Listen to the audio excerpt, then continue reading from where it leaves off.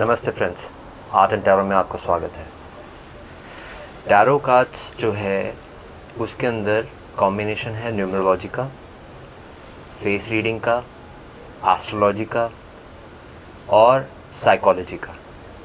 तो जब भी हम टैरो कार्ड्स रीड करते हैं, उसके अंदर ये चारों एलिमेंट्स जो हैं, वो आ जाते हैं। एक अच्छा टैरो रीडर जो है, उसके अंदर साइकोलॉजी की अच्छी उसको नॉलेज होगी और वो न्यूमरोलॉजी के पॉइंट्स भी जानता होगा।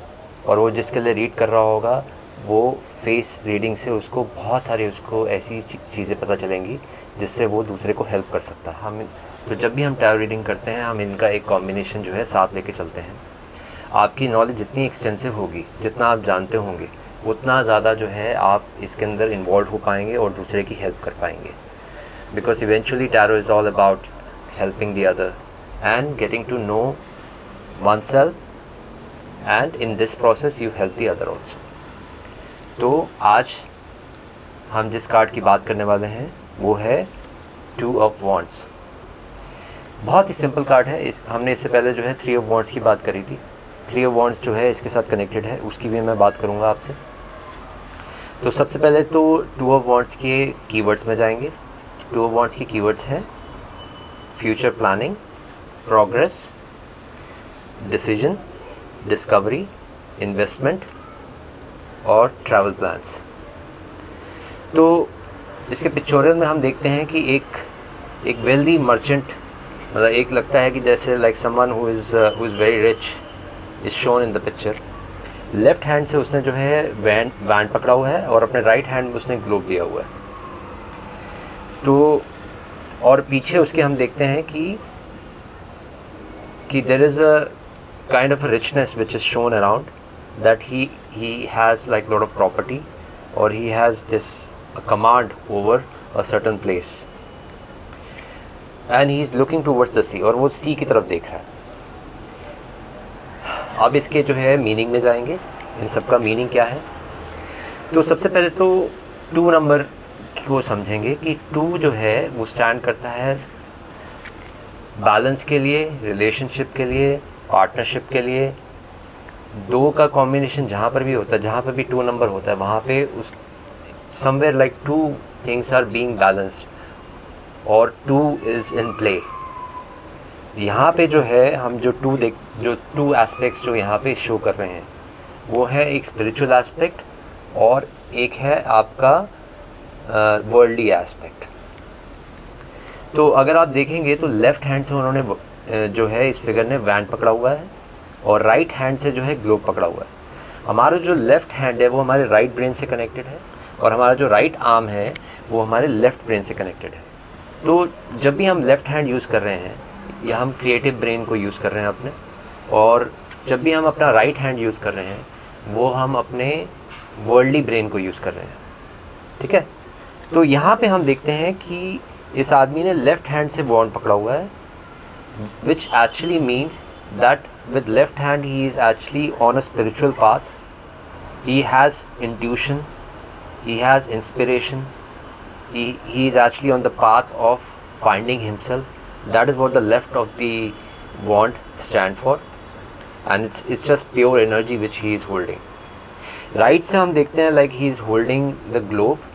And now the right hand is actually connected to the worldly brain और यहाँ पे हम देखते हैं कि वर्ल्ड ही बना हुआ है। Which basically means that that at the same time being spiritual also and he is also in the world also he is trying to balance between these two elements. The elements of the world and the spirituality. And uh, जब हम world की बात कर रहे हैं तो because he has these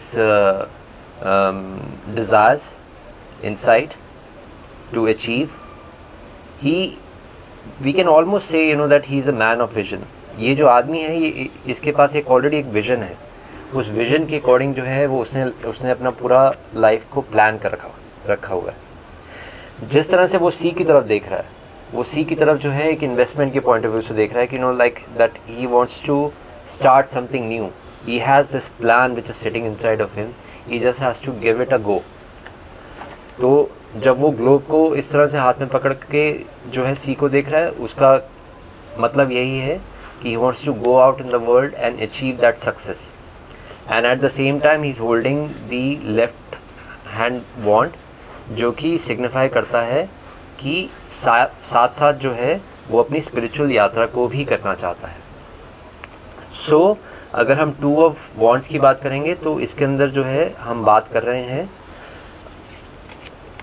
a balance between spirituality and world. A, spiritu a spiritual journey and a world worldly journey.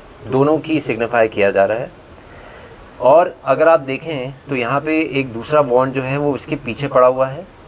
Like like, जो उसके बैक साइड में है जिसको कहीं ना कहीं वो इग्नोर कर रहा है।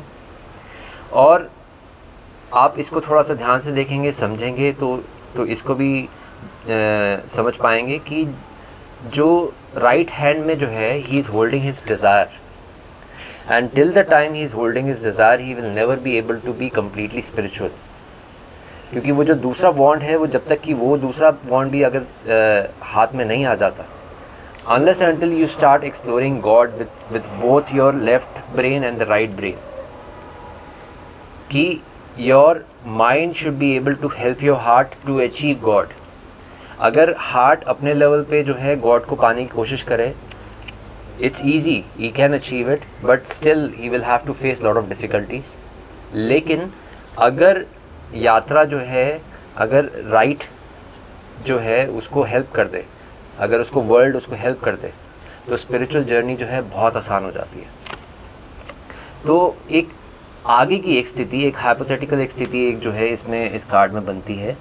कि एक टाइम ऐसा आ सकता है कि ये आदमी जो है, अपने डिज़ायर को जो है a kind of he can let को so there is always a possibility that he can hold the other bond which is which is which is there on the back side of इस तो card के अंदर जो है simple सा message यही है। It's a card of vision it's a card of it's a card of gathering strength and going out in the world and proving what you can do and investing yourself into it. हम देखे जा, देखा जाए तो it's a very beautiful cards and इसके अंदर जो एक मैसेज आता है, एक ओशो का मैसेज है जो कि बहुत इसके साथ जो है मैच करता है। ओशो का मैसेज है जोरबाद बुधा ही सेज कि उनके जो सन्यासी होंगे, वो जोरबा जोरबादी बुद्धा कहलाएँगे। जोरबा जो है, अगर हम बाहर की जगत में देखें he is someone who is a very pure a worldly being और बुधा को देखें तो he someone is purely a belongs to the inner world जब हम जोरबा और बुद्धा को कंबाइन कर देते हैं तो एक नई, नए आदमी का जन्म होता है। A new man is formed and this new man is known as Zorba the Buddha which actually talks about the balance between the spirituality and the world so in a way it's a very beautiful sign that he is holding one globe on his right and one wand with his left. तो पूरी की पूरी कोशिश यही है कि balance जब तक हम क्रिएट नहीं करते अपनी लाइफ में, हमारी स्पिरिचुअल और हमारी जो है, हमारी वर्ल्डली जर्नी जो है अधूरी रहती है। उसके अंदर फुलफिलमेंट नहीं आ पाती है। तो जब भी जब भी ये कार्ड आपकी रीडिंग में आता है, वो आपको ये बताता है कि that this is a good time to invest your money or a travel is suggested. These are the few things which are suggested here. And अब मैं इसका, मैं बात करना चाहूँगा इसका कनेक्शन जो कि थ्री ऑफ़ वॉन्ट के साथ है। थ्री ऑफ़ वॉन्ट जो है, अगर आप कार्ड देखेंगे, कि उसके अंदर जो है, वो वो आदमी इसी तरह से बाहर खड़ा हुआ है और उसके भी तीन वॉन्ट्स जो हैं उसके आसपास है। और he is waiting for the ships अगर आप देखोगे ध्यान से तो he is also looking at the sea but now the ships have arrived उस उस केस में। और यहाँ पे अगर हम टू वॉन्ट्स में देखेंगे तो अभी he is about to invest he is about to go in to this venture and जो टू से जो है, जो बात शुरू हो रही है, वो थ्री पे जाके ख़त्म हो रही है। So two of wands is a card of going in to a journey and exploring life with the world and with the spirituality. It is about uh, having the courage to start the process of realizing an idea. It is about planning, research, and investing.